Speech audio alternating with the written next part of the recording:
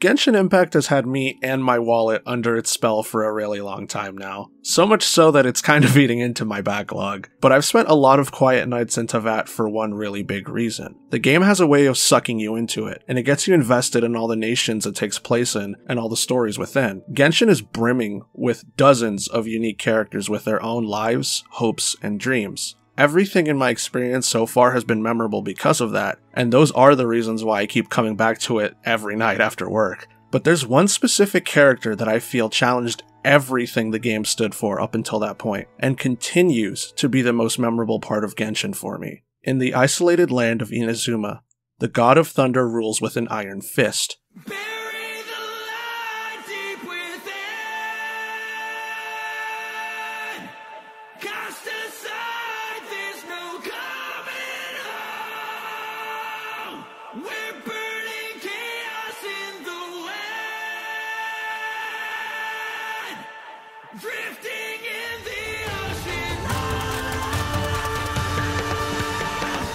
She goes by many names, but her enemies and her people know her as the almighty Raiden Shogun. Raiden is a woman so focused on her own ambitions that she would completely obliterate anything standing in her way, even you.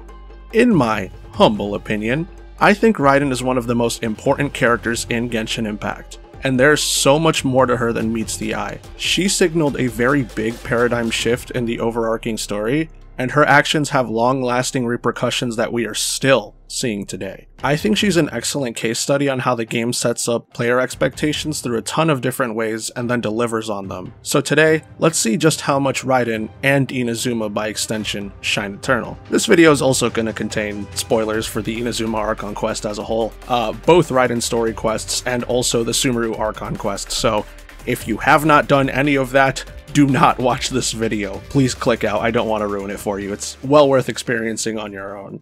In Genshin, you take control of the Traveler and embark on a massive journey to find their lost sibling. To do this, you have to go through seven nations and meet with their respective gods known as Archons. On the second leg of their journey, the Geo Archon, Zhongli, informs the Traveler that there is some serious shit popping off in Inazuma, their next destination. For starters, the way to Inazuma is completely closed off to the player, surrounded by a big thunderstorm. This means that the traveler can't go there freely, instead having to travel by boat. This is already a big contrast to the game's open-ended exploration to this point, where the player could go anywhere with almost no restrictions. Zhongli also tells the traveler that the Raiden Shogun has gone scorched earth on her people. She's stealing people's visions to uphold her idea of eternity, her nation's unquestioned, unchallenged, and unchanging prosperity. This is a huge freaking deal. In Genshin Impact, a vision is believed to be a gift from the heavens and is the embodiment of the user's personal hopes and ambitions.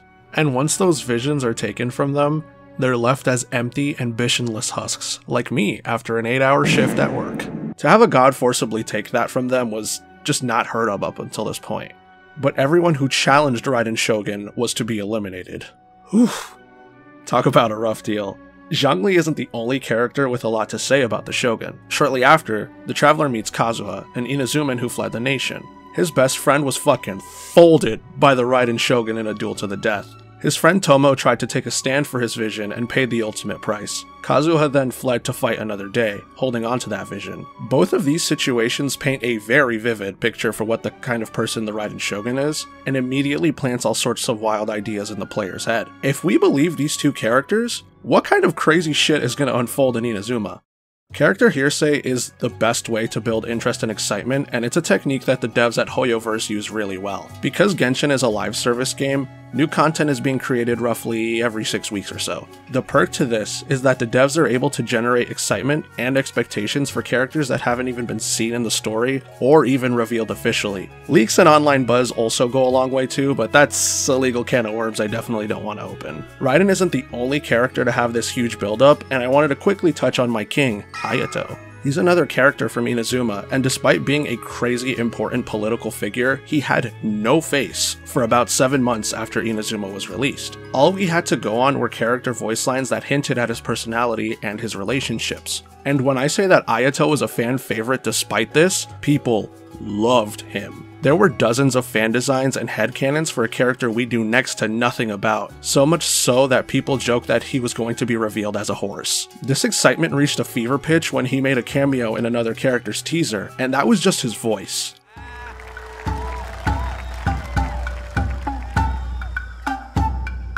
My lord, look backstage.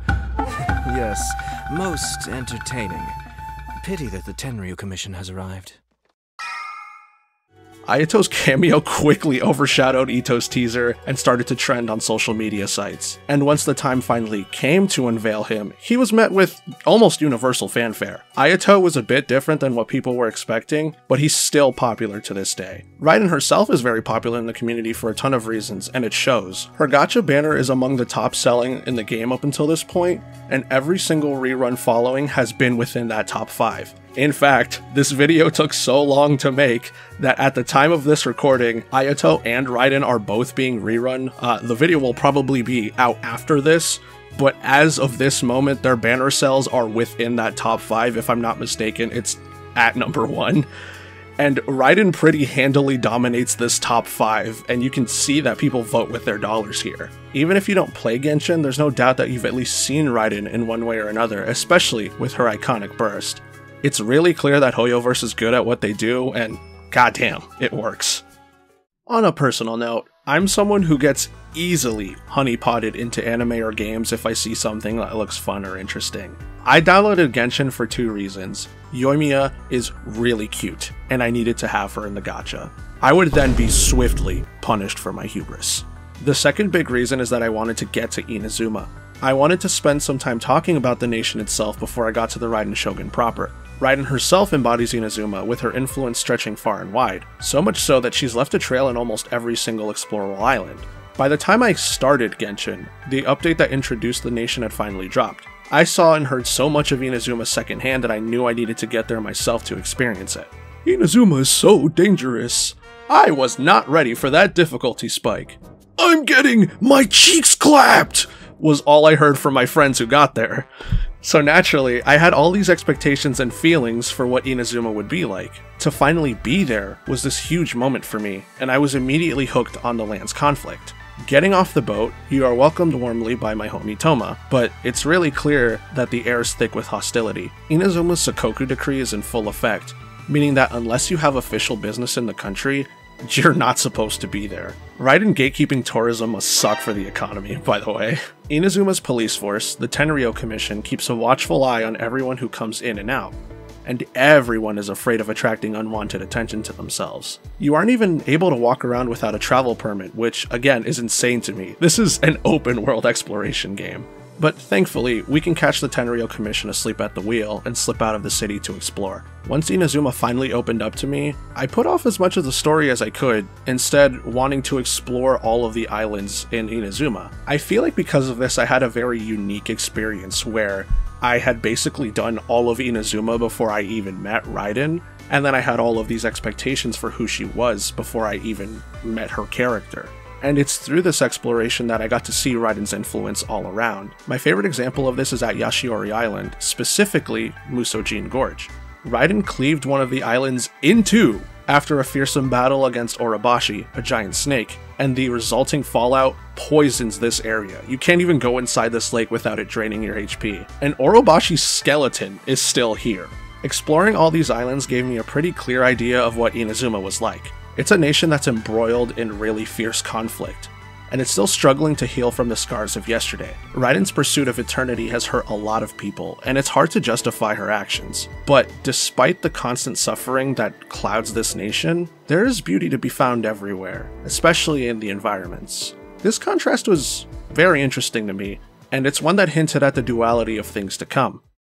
Now that we've spent all this time going around Inazuma and hearing a lot about Raiden, we can actually go ahead and meet her and see how her actions shape the story in the Archon quest. At some point in the story, you find out that one of your buddies has been arrested by the Tenryo Commission. In fact, he's the star of the Vision Hunt ceremony. Good for him! His vision is going to be the 100th one stolen, and the Big Cheese is going to commemorate that publicly. The Traveler arrives to put a stop to all this, but they didn't consider that the Shogun herself would be overseeing this milestone personally. Oh no, She's beautiful.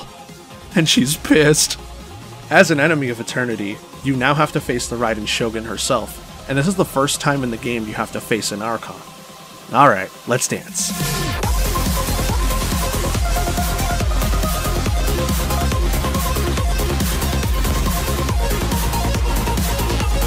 She's every bit as formidable as you've heard.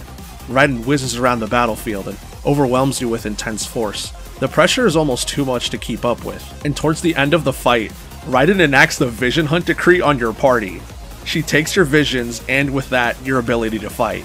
This is such a sick moment of Ludo narrative that caught me by surprise, and the only thing you're able to do after this is just run with your tail in between your legs. This fight is one of my favorite moments in Genshin because all of that buildup pays off here everything you saw and heard about Raiden is totally true. She is super imposing and very menacing and poses a tangible threat to the player. Raiden's first impression feels very earned because of that, even if it's an unwinnable scripted fight. It's no surprise though that the Electro Archon personally hands you an L. It's very embarrassing. A lot happens in these next parts, which I won't go into too much detail with, it's very long. Now that we're wanted by the Shogun, we flee Narukami Island and turn to other Inazumans that are opposing the Vision Hunt Decree. This is the Resistance. They then face off against the Tenryo Commission in an all-out battle. We also learn of the Resistance soldiers who dream of having visions, even at the cost of their own lives. This part just goes to show how big the conflict is in Inazuma due to the Vision Hunt Decree, and all of the casualties involved. Hell, there's even a lot of political collusion going on too. After we help the Resistance for a while, we get a tip that there's something funky going on in a factory. We meet the Balladeer, who seems like a very nice, well-adjusted boy. Surely, he won't be important later. The Raiden Shogun's girl familiar rescues us from a pinch and also brings us a little closer to the truth. Oh no, she's beautiful. And she's sly. Yae Miko here's got a lot of info for us. She gave the Electro-Gnosis to the Balladeer, which will be very important later on.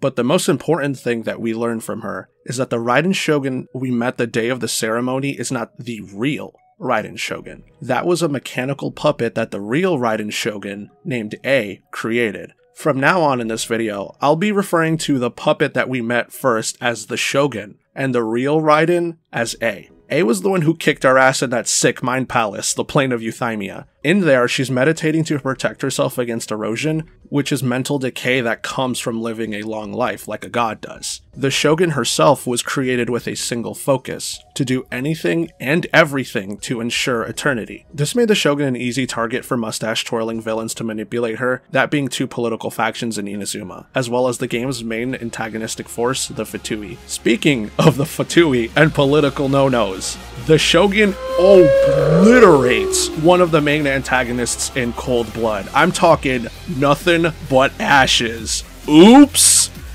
Nothing says diplomacy has failed like assassinating a political diplomat. This section of the story has some of the most dizzying highs in Genshin Impact for me, and I think a lot of people agree. Kazuha parrying the move that killed his buddy with his vision is one that I hear a lot of praise about. After this, we go back into the plane of Euthymia and challenge A one more time. We're locked in a desperate clash with her, where we challenge her ambitions and everything she stands for. This time, though, we're much stronger, much more capable, and have a feel for her power. This fight is incredible, and everyone in Inazuma's hopes and dreams rest on the Traveler defeating this immovable object.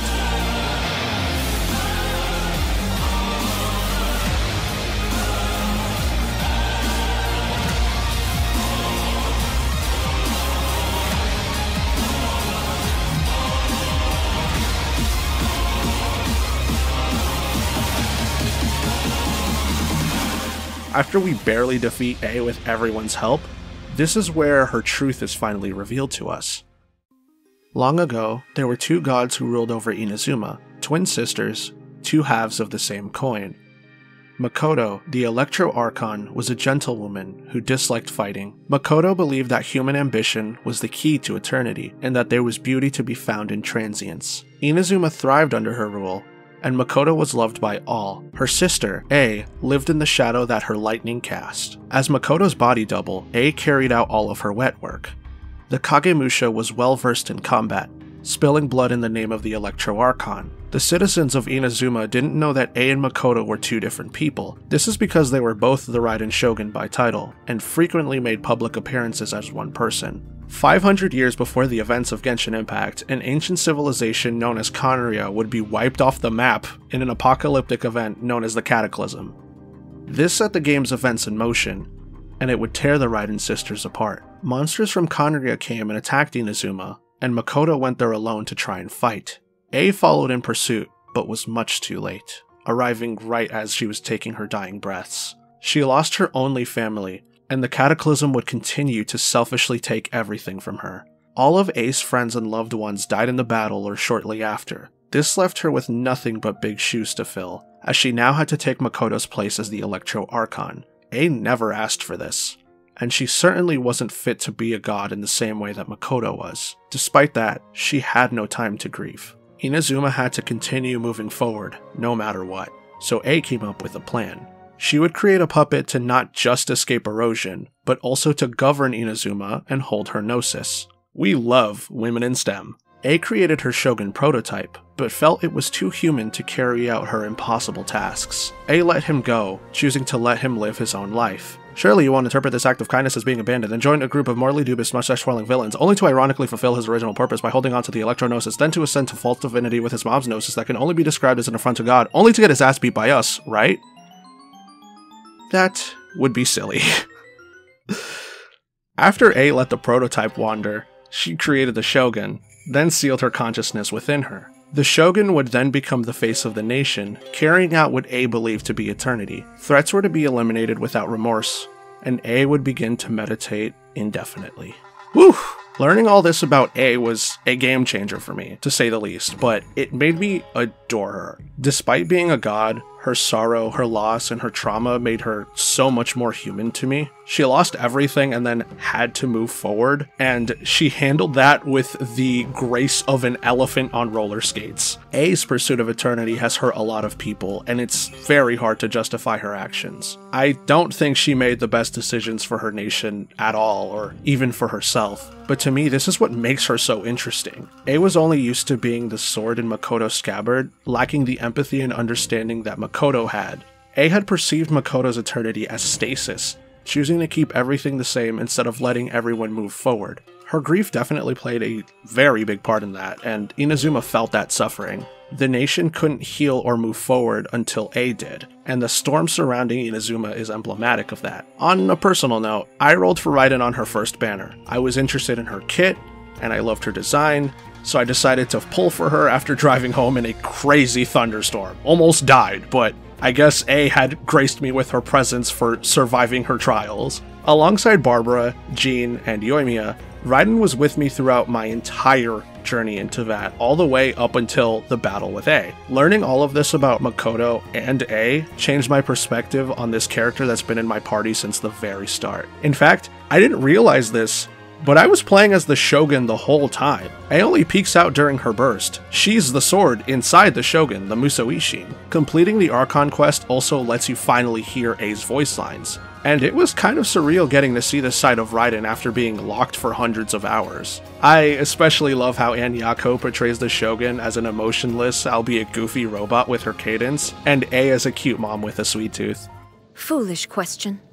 There are only two kinds of foods those that must be consumed to nourish the body, and those that harm it.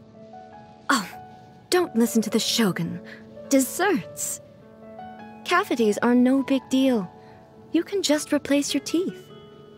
Anyway, I just don't see how desserts can pose a serious obstacle to my pursuit of eternity. To me, A does have a warmth that is reminiscent of Makoto's, which is funny because they all share a voice actor. Learning all this, though, something finally dawned on me. All of these revelations set a very interesting precedent moving forward. So, we've been over this before. Genshin is really good at setting up player expectations through a ton of different means and this is to build the narrative in the player's head. But how much of that information can we actually trust? Zhongli and Kazuha both told the Traveler that the Raiden Shogun would stop at nothing to achieve her goals. But once we meet her, we find out that she's actually a woman so overcome with grief that she let herself become blinded by it. Now, generally, Genshin's storytelling should be taken with a grain of salt. It's full of unreliable narrators that for better or worse, push hearsay as truth, but I think there's a little more to this. Inazuma's Archon quest sets a very important precedent. We can't trust what we hear. At least, not at face value. This is because there's a hierarchy of knowledge in Teyvat. There are characters who don't know the whole truth, or can't say the whole truth. The true nature of Teyvat and its mysteries is only known by few, and those characters aren't able to give that information to the player, meaning that all information, regardless of its truth, is presented to the player completely unfiltered. This is still true in Sumeru's Archon quest, which takes place long after the Inazuma arc. In it, the sages of the Academia purposefully control the flow of knowledge through these Akasha terminals, and in these headsets, they're able to implant whatever they want, and the citizens don't question it at all. The results of this is all sorts of knowledge being spread around, regardless of whether or not it's true. The Archon quest goes further into the manipulation of knowledge and what the consequences of that is, but that's an entirely different can of worms that's a bit out of the scope of this video. This is a very interesting meta narrative, though, where information is manipulated not just through the characters and the lore, but also through marketing and social media. Hoyoverse is very careful in what they choose to post for each character, and they deliberately get people talking when they do. At the time of this recording, we have no clue who this is talking about Nahida. Another example is Klee's mother Alice, who we know is the most powerful witch in Teyvat. We have never seen this character before, and here she is narrating the Wanderer's Kit overview. If you happen to run into this wanderer, don't let his menacing expression make you nervous. He Why? I'm losing my grip on reality. I have a confession to make, viewer. You can't even trust me at my own word. I mean, you can for all of this video. I was just withholding some information for the sake of my points. So, I wasn't entirely truthful about two things. The first being that A slayed Orobashi for reasons that are far more complex than just suppressing a rebellion. Orobashi got a little too close to forbidden knowledge and then was sentenced to death by the heavens. The snake was told to stage a rebellion with his people to conceal this truth. A and Makoto only saw this at face value, and A decided to just dice the dude up. The people of Watatsumi aren't very pleased about this, but neither side really knows why Orobashi did this. The second thing I wasn't entirely truthful about is that Ayato isn't the person that people think he is. He's not evil by any means, but he's someone who wears many faces. A lot of people perceive him differently depending on what mask he decides to wear, and I think that he's a really interesting character because of that. Ayato is the dutiful head of the Kamisato clan, but he's also the guy who plays card games and bug battles with Itto, even if Itto doesn't even know who he actually is. Nothing we see or hear in Genshin Impact can be completely trusted. Raiden's story is not the first time we've been presented with half-truths, but I think it marks a paradigm shift in the game's writing. Everything that's come out after these quests have been like this, and I find myself questioning what I hear constantly. The main story in Inazuma is over, and we now have access to A's optional story quests. It's kind of crazy these are optional because these quests are so essential for fleshing out A and focus on what she does to move forward after the events of the story, which I feel that the main Inazuma quest kind of lacked, but it's good we get them here regardless. Because Genshin is a live service game, Reflection of Mortality, the first quest, was the only one that was available for a pretty long time actually. I remember hearing a lot of negative things about it, and it kind of skewed my perception of it going in. I might be in the minority here, but I wasn't let down by it. But that's also because I think my experience was a lot different than everyone else's. By the time I got to this point, both story quests were out, so I was able to experience them back to back. And the benefit of hindsight helps me appreciate the first one more, so I have a lot I want to say about it. This first story quest is the first stepping stone for A, where she begins to make amends for her actions in the Archon quest. Reflection of Mortality starts with Inazuma's citizens saying that the Shogun is resting after your battle with her. Despite this, the thunderstorm surrounding Inazuma is starting to swirl a little out of control. We also hear that the Shogun is unable to handle any business, and because of this, Inazuma's at a standstill. Rumors start to spread that she's sick, so her wife tells you to pay her a visit. We find the Shogun pacing at Tenshukaku, and she says she's not really able to do a whole lot right now. A pulls you into the plane of Euthymia to explain what's going on. After your battle with her, A is taking some time to reflect on what she's done and what her next move is. A shut off a lot of the Shogun's features in the meantime, so she's blue screening a bit. The Traveler recommends that A gets out of the plane Euthymia as a change of pace. She's been there for a couple centuries actually, and the Shogun's really been the only one to make public appearances in all this time, so getting out to see the current day Inazuma would do A a lot of good. What follows next is, well, a date with the Raiden Shogun. You visit the marketplace, you get some snacks, you read books, and take photos together. Even if this is a dream come true for me, I do understand why people don't like this part of the story quest. This ooting takes a little over half of the total quest runtime. Genshin does have this problem where it leans a little too much into fan service for its story and hangout quests, and it pigeonholes dates into what should be densely packed character stories, but even if this is a date with the Electro Archon, I think this is a necessary step that A needs to take. Inazuma has changed with time time, and A needs to go with it. With this in mind, the plot comes calling, and there's a bunch of political factions vying for power. We go with A to investigate rumors of political revolt and help set the record straight. I like this part because we get to see A handle the political side of Inazuma and settle it with a way that fits her character. She's not half bad at negotiating, but a duel will sort things out much faster. With that taken care of, A reflects on the experience. Inazuma is always changing with the people who live there trying to do the best they can to move forward. She acknowledges that she too has made mistakes, and will change with the times, no matter how hard it'll be. This may mean that she has to tweak the Shogun to accommodate for this, but she's prepared to do that when the time comes. My favorite part of this story quest is how it mirrors both Raiden twins. The first half focuses on humanity and how precious the mundane is, focusing on all the transient beauty that Inazuma has, and the second half is about conflict and political drama, and how icing someone really is the easiest solution. Reflection of Mortality is a solid story quest. It's short, it's sweet, and it's filled with a lot of great character moments for A. She shines very brightly here, and we get to explore all of these sides of her we normally wouldn't get to see. This quest elevates the next one in very meaningful ways, as we'll see.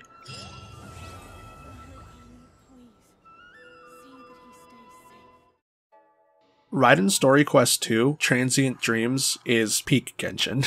I think it's one of the game's best story quests released up until this point, and I still think it's the best quest to me. I had high expectations for this coming in because everything I heard involving it was singing its praises, sort of the opposite of what I heard about the first one. And I think it delivers in every single way. It's tight, it's dense, and it's an emotional story that sees A confront her demons. It also helps wrap the Inazuma arc in a neat bow Again, something I felt that the main Archon quest was lacking in. Transient Dreams begins with Rift Hounds attacking the roots of Inazuma's sacred Sakura tree. This mystical landmark is very important to Inazuma, so the Traveler is commissioned to take care of it. A swoops in to save us when she sees we're getting overwhelmed. She also says that the last ooting has made her want to see the world more, but she's really here to investigate the attacks. These Rift Hounds actually bring back horrible memories. In fact, they were the front guard during the Cataclysm 500 years ago. This story quest forces A to confront her past, as a lot of it deals with her memories of the Cataclysm. We hear a lot about the Cataclysm firsthand from her, and we also get to see some of it too. The roots of the sacred Sakura are able to hold the memories of those who died and manifest them into reality. Many of these specters were soldiers that bravely died in the battle, but my favorite encounter is with Furuyama, a blind tea master that served the Raiden twins.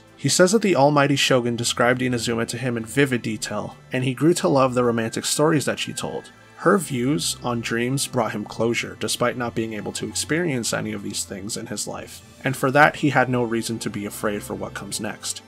Obviously, he's talking about Makoto, and he remembers her as a dreamer at heart.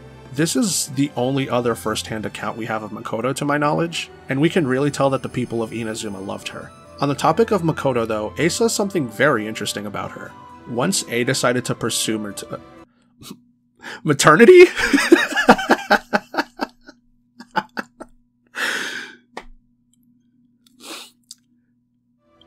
After her death, A decided to pursue eternity. She was able to save a bit of Makoto's realm of consciousness, her plane of euthymia in a sense. Once she brought it back to Inazuma, the sacred Sakura appeared. The citizens claimed that it was always there, even before she left to Khaenri'ah, but that's a surprise tool that'll help us for later. As we press on and encounter more of these specters, the common denominator becomes clear.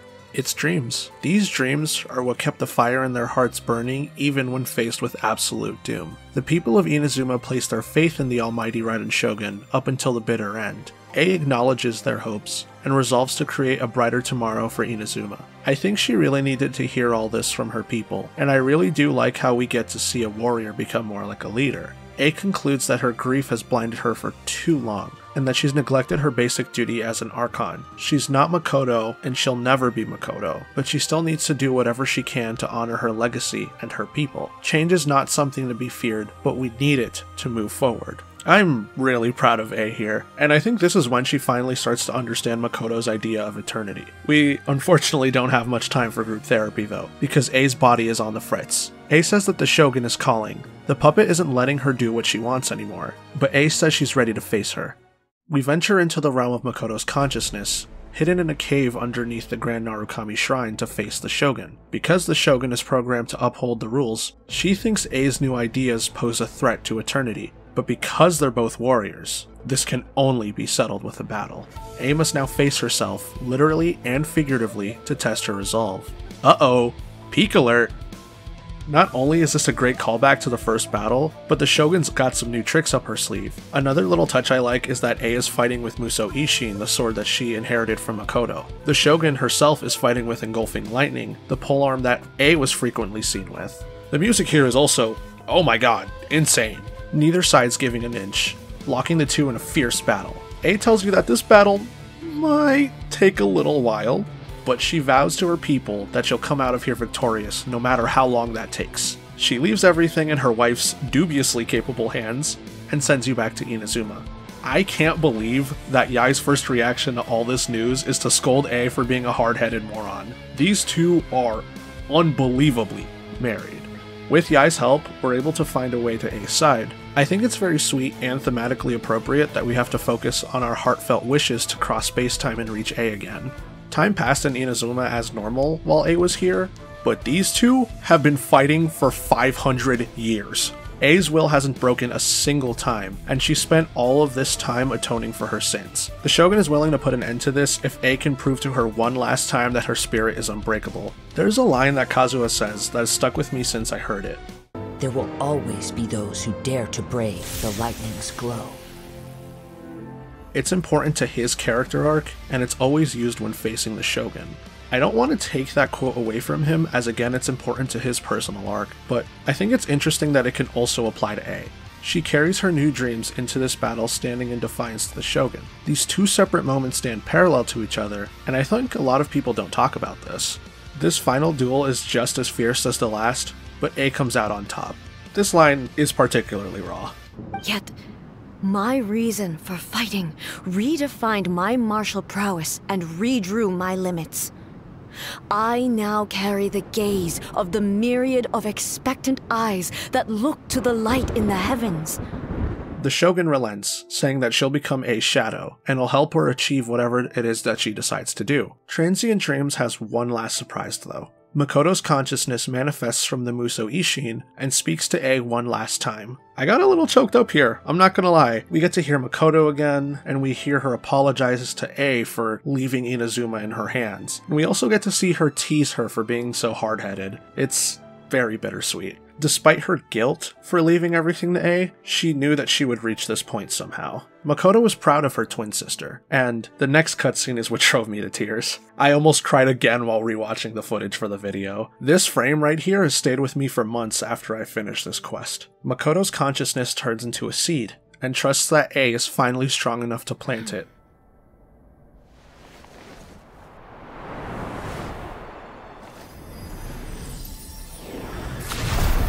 Eternity extends time into infinity. Dreams illuminate each moment within. When both shine in unison, the sacred Sakura blooms from the darkness, finally free from the clutches of the heavenly principles. Now the nightmare has dissipated, and reality is made whole. The vision we both yearn for is still further ahead. My only regret is that I cannot witness Inazuma's future, nor can I walk this journey with you.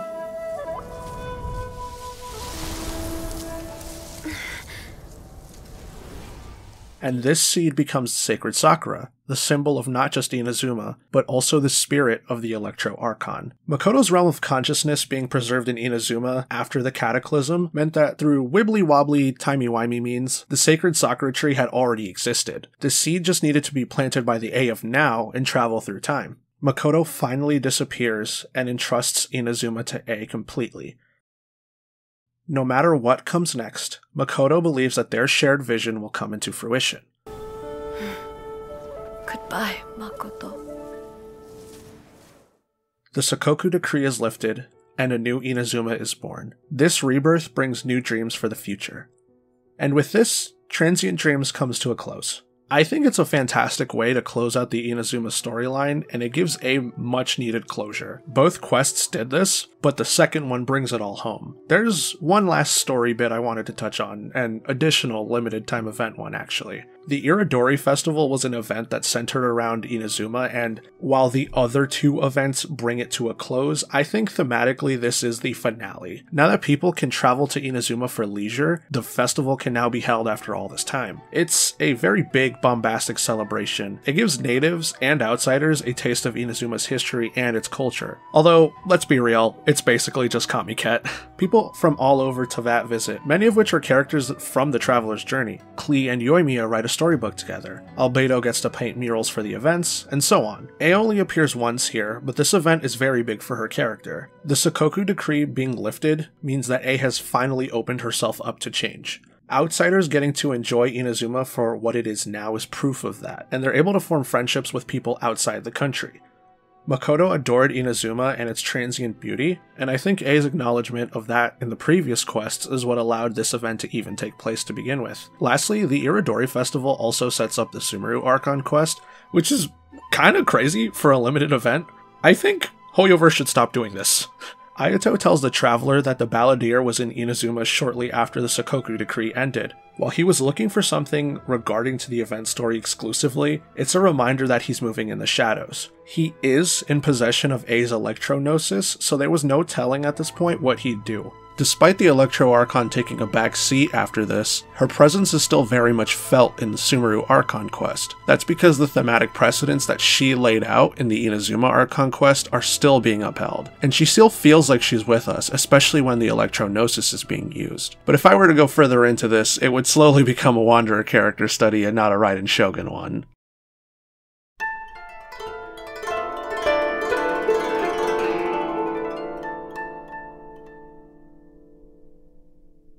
I had two conclusions for this video that I ended up scrapping because I wanted to kind of capture the raw feeling that I feel now that I am at the end of this project here and sort of capture my thoughts on not just the Raiden Shogun and Inazuma as a whole, but also my thoughts and feelings on this project. My time in Inazuma had finally come to an end and I just felt this wave of sadness kind of wash over me. I spent so much time playing this game every day, every night, uh, not just with myself, but also with my partner partner just trying to reach this point in the game. And once I finally got here, I just felt like Inazuma had delivered on so many of those expectations. And I think Raiden Shogun is very much to not blame, but I can attribute all of those feelings to her. I feel like she made this game so much better for me. And having written all of this in service to her, I feel like I appreciate her more as a character. And I just, I, I love Ei. She's the best. And again, I feel like like the thematic precedents that she has set for the story of Genshin Impact have been continuously upheld and carried all throughout like the Archon quests and also like the character story quests and all that. There's a lot that I still haven't seen or done regarding Inazuma and the character story quests that I didn't leave out but haven't experienced yet. I have a very strong feeling that Raiden, at least thematically, will be a part of these things. And again,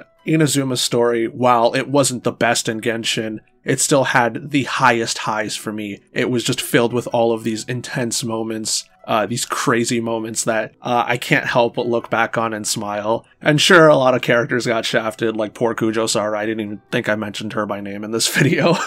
uh, didn't get her time in the limelight. But again, I do feel like things really only got up from here. All the characters and future story quests got their time in the sun. But again, I feel like this is kind of where the game stepped it all up, as it was the first biggest expansion that the game had. It had a lot to prove, a lot to live up to, and everything was delivered. And I feel so grateful having made it to the end of this journey, not just with the Inazuma story quest, but also with the video, because I have just a newfound appreciation for Genshin Impact and its writing. If you made it to the end of this video, thank you so much for your time and patience. I am eternally grateful. I know it was a super long one. I kind of went out of my comfort zone for this video and I wanted to try out something new, maybe test out the writing chops for something a little more different. I still want to go back and do the stuff that I've been normally doing, but I know that this one was a little bit of a departure. So if you did like it, let me know in the comments. I want to keep trying new stuff out as I find my footing as a creator. So again, if you really did enjoy today's feature, please be sure to leave a like, comment, subscribe, other YouTube buzzwords, call to actions, etc. My socials are up top, so thank you so much, guys. I also want to extend another thank you to the artists I've worked with. Their socials are going to be up here below, but thank you, Bell, for the Mika Chibis, and thank you, Zedora, for the Mika emotes you saw for the music cues. Super appreciate all of their work. Super appreciate everything they do for me. They are very talented artists, so please give them a follow. I want to extend a special thanks to the artist who worked on the thumbnail piece, Firestiart, of course, another piece, banger from them. Uh, Himawari as the Raiden Shogun. It's funny because she looks a lot like Yae Miko. Might be getting a lot of that in the comments. I really like this piece a lot. All of the detailing goes crazy. The rendering is crazy. Everything crazy. Genshin designs are very complicated and complex, so I think she really captured the essence of not just the channel mascot, but also the Raiden Shogun herself. So if you enjoyed the piece that's in the thumbnail and are now seeing it in its full glory, be sure to follow Firestiart for more bangers. Our socials are on screen now. And again, that's going to do it for me today, y'all. Have yourselves a good one. Take care, stay gold, and I'll see you next time.